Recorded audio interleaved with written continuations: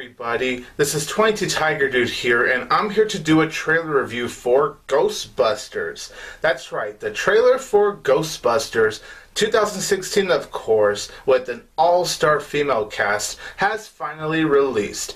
And this trailer has been getting a lot of criticisms and they've been mostly negative as far as I've seen, but you know, here's honestly my honest opinion on the trailer for Ghostbusters. I don't hate it like everyone else does, you know, but I really don't blame the people that hate the trailer though. But in my opinion, I say it's not a good trailer. It was okay. Of course, I'll go ahead and say what I thought was good about the trailer.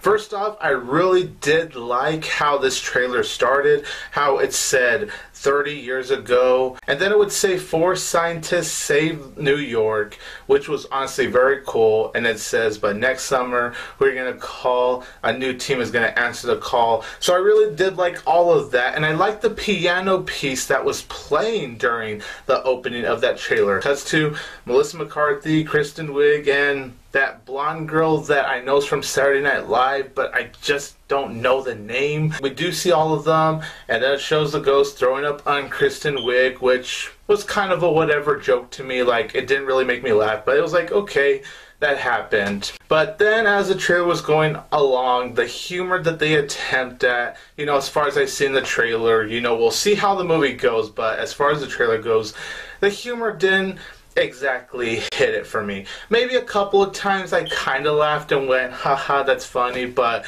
for the most part, yeah, the humor didn't really do it justice.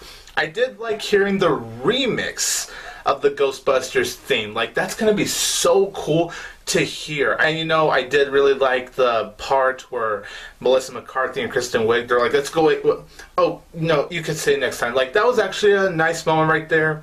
I did like the visuals on the ghost, especially when you see Slimer. That was very awesome. The humor really didn't work out in this trailer, honestly. It really does fall flat. Leslie Jones, I know she's in Saturday Night Live. I don't really watch Saturday Night Live, so I can't really comment on her. Her character seemed very forced in this trailer, especially in that possession scene in the end of the trailer. That just felt extremely forced. Really did not work for me at all, to be honest. And even the execution, the timing in the trailer did seem to be very off, in my opinion. It was just a whatever trailer. I don't hate it. I think it's an okay trailer. I can see why it has gained the negative criticisms. I do understand.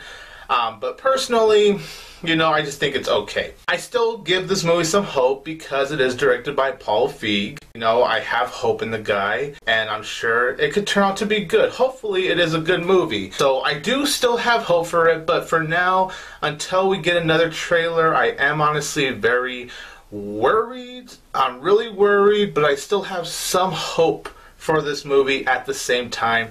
So that's really my trailer review for Ghostbusters. But let me know in the comments down below, you guys, what you think of the Ghostbusters trailer. Are you with pretty much the majority that hates the trailer with the burning passion? Or did you guys actually like the trailer? Did you find a lot of the humor in the trailer to be very funny? I really want to know from you guys because it's always nice to get different opinions. So However you feel about the trailer, let me know in the comments down below. Also, you guys, very quick, I just want to briefly mention that I did do a live trailer reaction recently with Adam Haskell and WWE Fan 0599. That was very fun to do. No footage is shown there or anything. You would have to pull the trailer just because I'm avoiding YouTube copyrights, but that was a very fun thing to do and if you guys haven't checked it out I'll leave a link to that video in the description below. This is Tony aka 20 Tiger Dude here and don't forget that I will always have Tiger Power!